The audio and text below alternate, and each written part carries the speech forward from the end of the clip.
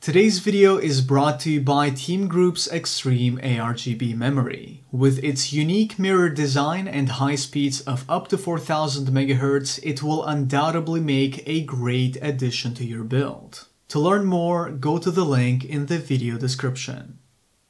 Previously, we compared the i5-3470 to the FX8350 in 21 games that released within the last decade, and in that video, I briefly talked about why I believe the FX8370 benchmarks from both Gamers Nexus as well as Hardware Unboxed to be misleading.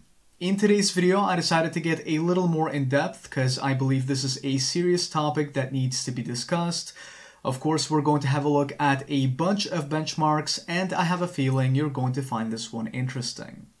In case you're not aware, both Steves have always claimed AMD FX to be terrible, and in their benchmark videos you can see that an overclocked FX 8370 doesn't perform any better than modern dual-core CPUs with 4 threads, such as the G4560 and the Athlon 3000G.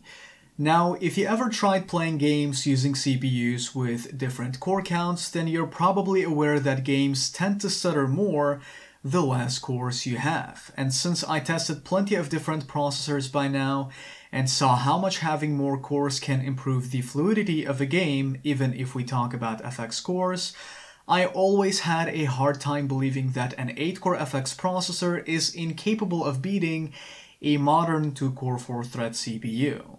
Obviously, I'm not talking about every single game out there, Titles such as Far Cry 5 for example run perfectly fine on 2 cores and 4 threads, but I definitely didn't expect to see an overclocked 8 core FX to perform so badly in games such as Shadow of the Tomb Raider, Division 2, Witcher 3, etc.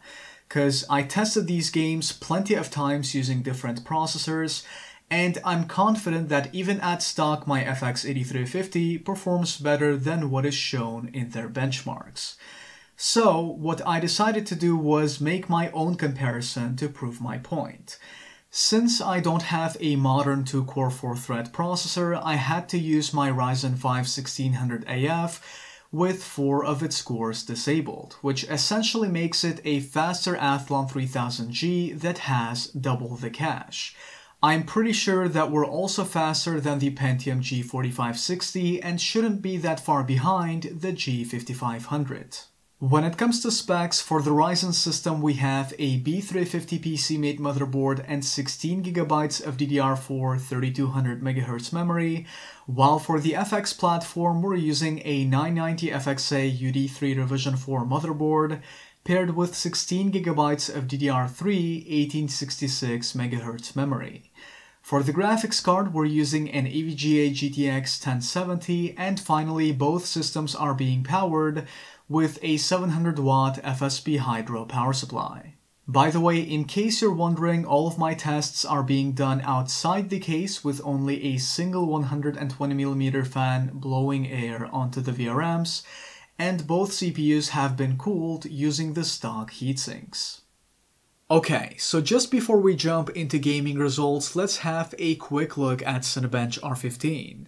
For the single core score, we see that our modern dual core CPU with 4 threads takes the lead, beating the FX 8350 by a massive 55% margin, while for the multi-core test, the 8-core FX manages to pull ahead by 53%.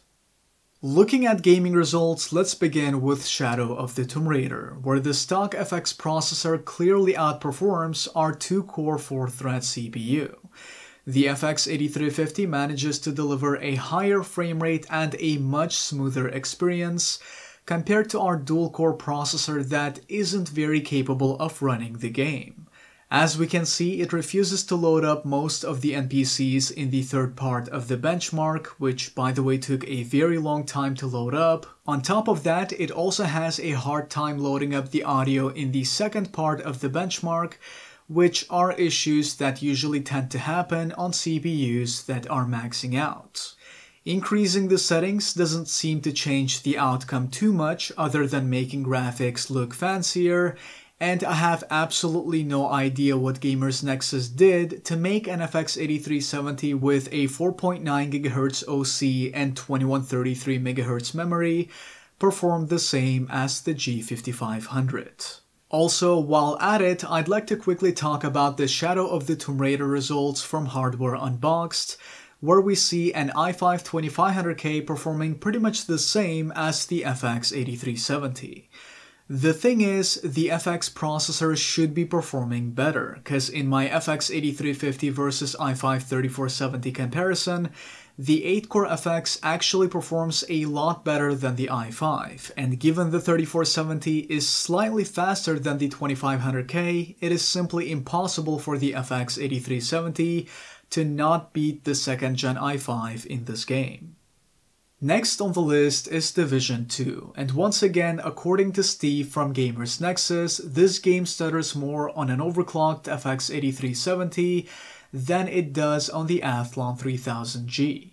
In my case, the game runs perfectly fine on my stock FX 8350, which also has no issues outperforming our dual-core processor when it comes to both frame rate and frame time performance. Aside from terrible stuttering, the 2-core 4-thread CPU also struggles to load objects and textures from time to time, which shouldn't be a surprise since it is almost constantly maxing out.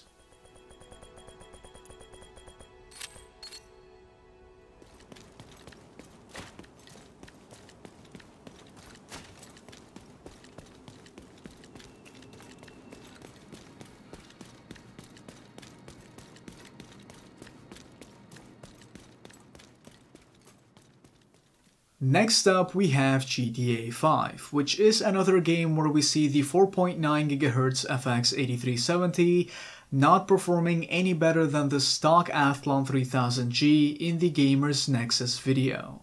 For some reason, my stock FX 8350 actually performs a bit better than our 2-core 4-thread processor, regardless of which settings we use.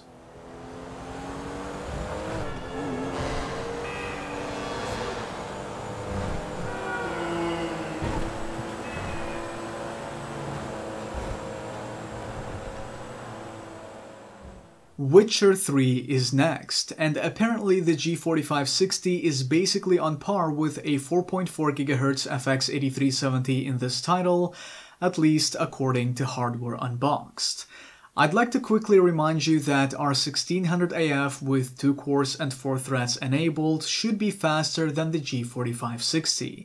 We're also using 3200 MHz of RAM instead of 2400 MHz that Steve used in his comparison, but despite all of that, our dual-core processor is still way behind the stock FX 8350, regardless of how intensive the area is and which graphics settings are being used. The dual core also tends to struggle from time to time, so I highly doubt that a G4560 is capable of delivering similar performance as a 4.4 GHz FX 8370. Since I currently don't have Battlefield 1 installed, which is another game where a G4560 performs similarly to an overclocked 8-core FX, according to Steve from Hardware Unboxed, I decided to test Battlefield 4 instead. Using lowest settings, both CPUs seem to deliver an identical experience, though once we get in an intensive situation, the FX processor does perform better thanks to a higher frame rate as well as a more consistent frame time. Using ultra settings, we can see that our dual-core CPU begins to struggle, while the game runs silky smooth on the stock FX 8350, so once again I refuse to believe that in Battlefield 1, which is a more CPU demanding game, the G4560 can be on par with an overclocked FX 8370. Results are pretty much identical in a lot of other modern games.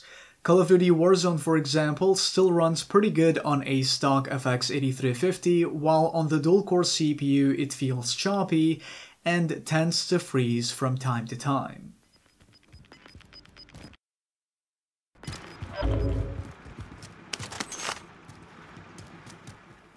We can observe a similar behavior in Apex Legends. It just runs significantly better on the FX 8350.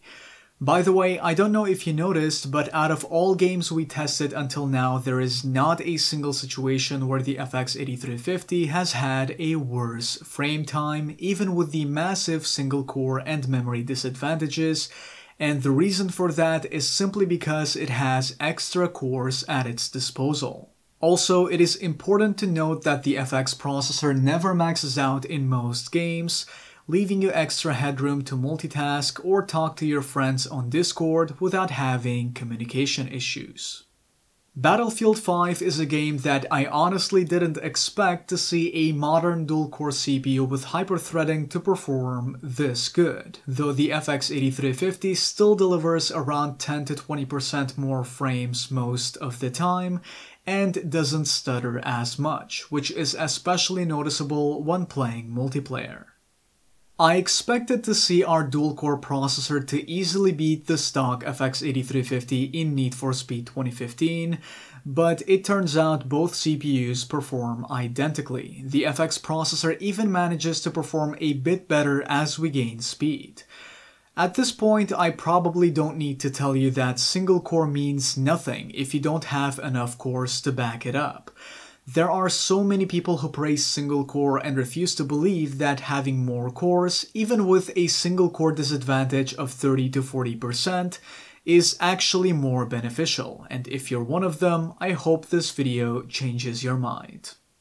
Rainbow Six Siege runs basically the same on both processors, and even with ultra settings, they're pushing well above 150 frames most of the time.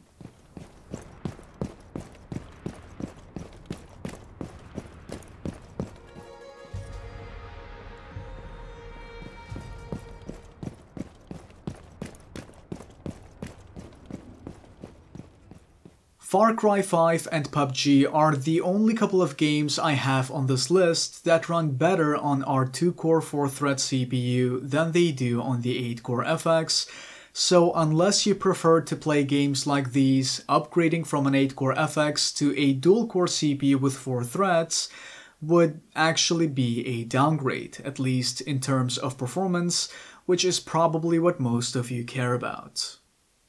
So there you have it. This is how a stock FX 8350 performs compared to a modern dual-core CPU with 4 threads, such as the Athlon 3000G or Pentium G5500. Once again, I have absolutely no idea what's going on with AMD FX benchmarks from both Gamers Nexus and Hardware Unboxed.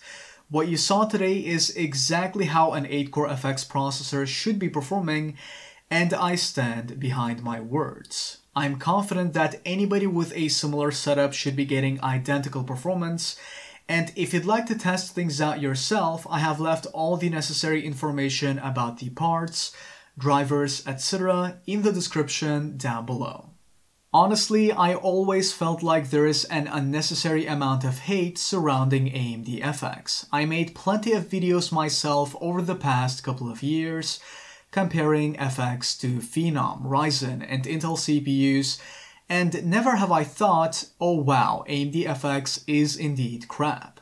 On the contrary, I'm legitimately surprised at how capable both the FX 6300 and 8350 are, even when compared to their rivals and predecessors.